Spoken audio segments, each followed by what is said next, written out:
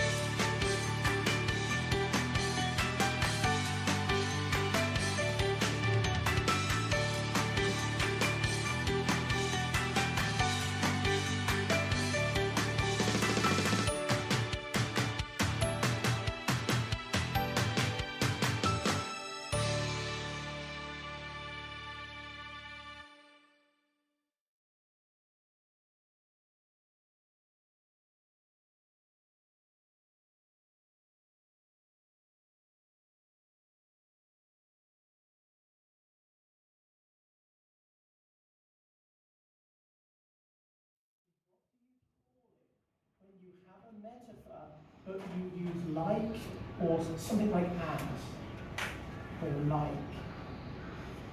Um, if I say if there's some big guy and I say uh, he is like a bear, what do we call that? What type of metaphor is that? What type of figure? Now, let me give you, this was a tricky one. You didn't know this last week. A little bit tricky. If, eh, yeah, yeah, yeah. But Mal, one more time. I'll take it. I'll take it. Yeah, yeah. I'll take it. Simile. Simile. So it's a metaphor when you use or as. Okay. So something like know, he looks like a bear or something like that. Great, great, great. Now, class, I think I'm on new words now. So this is going to get tricky. Explain the word. Put your hand up the students of the word. Don't say anything. Okay, here we go. Um, very, very quickly. If I say something and it sounds reasonable, it's logical. What is it? Uh, hayato. Makes sense. Great. Thank you. Well done. um, if you are, oh, sorry, sorry, let's say you've got Hayato and Mocha in a car, the car hits them, I think, oh, they're dead, they're dead, but actually they're not dead. Um, I'm going to go with Mal. Survive, well done, great, fantastic. Um, the people that live in the area around your house, neighborhood, neighborhood, that's fantastic, well done. Um, the dog waiting for the dead owner is the saddest movie I've ever seen, Shunkai. you will answer. the, the dog waiting for the person that's died. Yeah, okay, Shunkai. Heartbreaking. Heartbreaking, okay, okay, good. I'll take it.